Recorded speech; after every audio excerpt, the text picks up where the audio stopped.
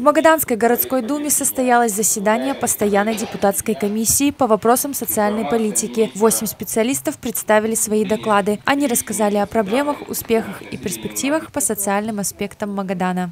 И показатель рождаемости за 9 месяцев 2020 года составил 10,3 на тысячу населения. Всего же родилось 764 ребенка.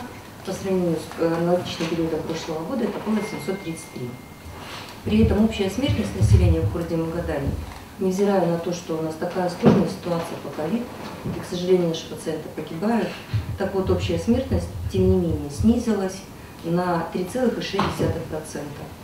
И вообще смертность в городе Магадане по сравнению со всеми другими муниципальными образованиями самая низкая во всей Магаданской области. Специалисты здравоохранения отметили в первую очередь смертность от сердечно-сосудистых заболеваний. Медики предпринимают все необходимые мероприятия для борьбы с COVID-19. В здравоохранении налажена и маршрутизация населения с острым коронарным синдромом. Первичная медико-санитарная помощь оказывается амбулаторно. В ее структуре есть много направлений, в том числе и первичная специализированная медицинская помощь, отмечают сотрудники Минздрава Колымы.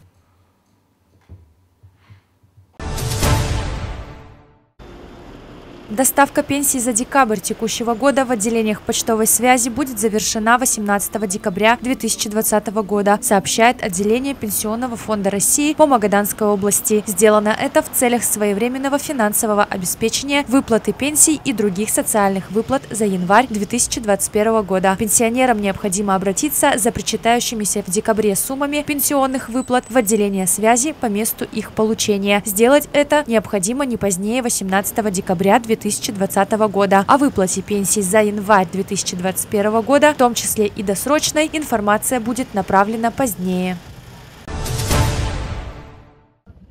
В минувшие выходные за помощью к магаданским спасателям обратились специалисты территориального центра медицины катастроф. На борту рыболовецкого судна женщина сломала ногу. К пирсу судно подойти не могло.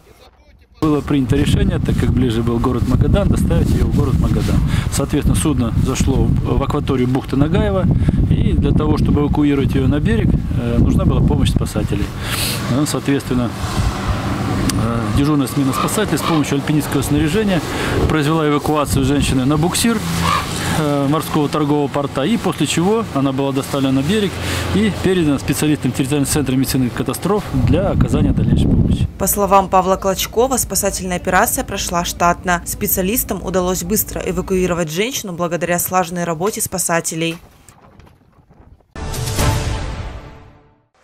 В Магаданской области сотрудники полиции изъяли алкогольную продукцию без марки госзнака. Работники Управления экономической безопасности и отдела лицензирования розничной продажи алкогольной продукции установили и пресекли противоправную деятельность в сфере алкогольной, спиртосодержащей продукции. Торговля крепкими напитками предпринимателям велась незаконно, необходимая лицензия отсутствовала. Оперативники изъяли 21 бутылку. По данному факту возбудили административное производство. Максимальная санкция статьи КОАП РФ влечет наложение административного штрафа до 50 тысяч рублей с конфискацией алкогольной продукции.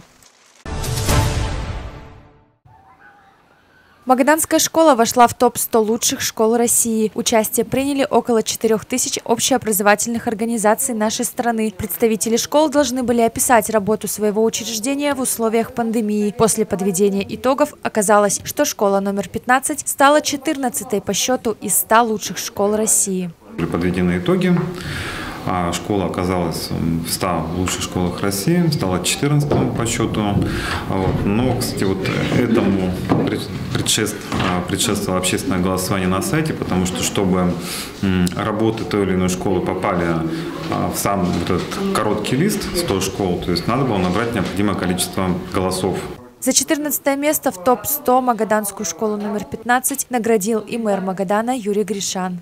Это э, большая работа, и когда она э, получает э, награду, это, конечно, дорогого стоит. Я вручаю вам букет, памятный адрес. Да. Памятный адрес, да. Ну и я думаю, что за этим стоят э, премии тем, кто это все сделал, сделал.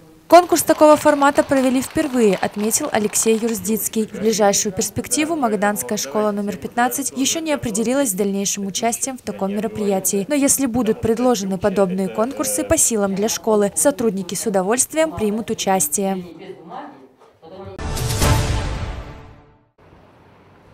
46 лабораторно подтвержденных случаев COVID-19 выявили на Колыме за последние сутки. По данным областного оперативного штаба, по недопущению завоза и распространения новой коронавирусной инфекции за весь период выявили 6300 заболевших. Обследовали на наличие инфекции 110 994 человека. С выздоровлением выписали 5648 колымчан. Специалисты Роспотребнадзора напоминают, мытье рук с мылом – одна из главных профилактических мер. Также эксперты призывают в общественном общественных местах надевать маску, перчатки и пользоваться антисептиком. При первых признаках простуды и повышении температуры следует незамедлительно обратиться к врачу. Мужчинам эксперты рекомендуют воздержаться от рукопожатий. Соблюдение этих противоэпидемиологических мер поможет снизить риск заболевания новой коронавирусной инфекцией.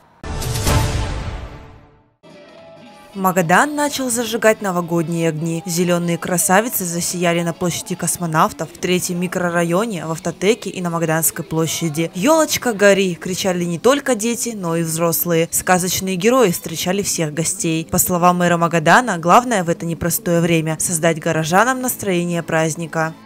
Но самое главное, я хотел бы, чтобы все желания наших юных магаданцев и взрослых магаданцев сбылись в 2021 году. А самое главное, что мы хотим это чтобы все были здоровы, чтобы мы были полными семьями за новогодним столом. Елки будут стоять в 12 микрорайонах областного центра. Специалисты продолжают готовить город к Новому году. 44 новых световых консоли украсят центральный проспект Магадана. Также для детей создают снежные горки. Всего их будет три. Еще планируют провести шествие Дедов Морозов и ежегодный конкурс ледяных скульптур «Магаданский хрусталь». Вы знаете, сам праздник – это в первую очередь праздничное настроение настроение. Да? Если есть праздничное настроение, то есть, на мой взгляд, и праздник.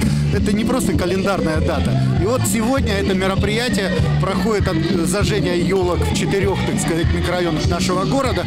И вот, наверное, вот с этим связано то, что у всех потихонечку возникает состояние вот Нового года, чувстве самого праздника. Да? И я вижу, насколько радуются дети наши, насколько радуются взрослые. До конца недели планируют зажечь зеленые красавицы в других микрорайонах, а также на Соколе, Уптаре и Снежном. Главная елка Магадана на Театральной площади засияет новогодними огнями 19 декабря. Как правильно выбирать, хранить и использовать пиротехнику. В преддверии Нового года магаданцы начали закупать фейерверки, салюты и петарды. Перед тем, как их приобрести, нужно обратить внимание на срок годности и целостность упаковки. Можно попросить сертификат и посмотреть серийный номер продукции. Он должен совпадать с тем, что написано на коробке. Приобретаем пиротехнические изделия в специализированных магазинах. Обязательно по вашему требованию продавец обязан предоставить сопроводительные документы, так как данный товар подлежит обязательной сертификации.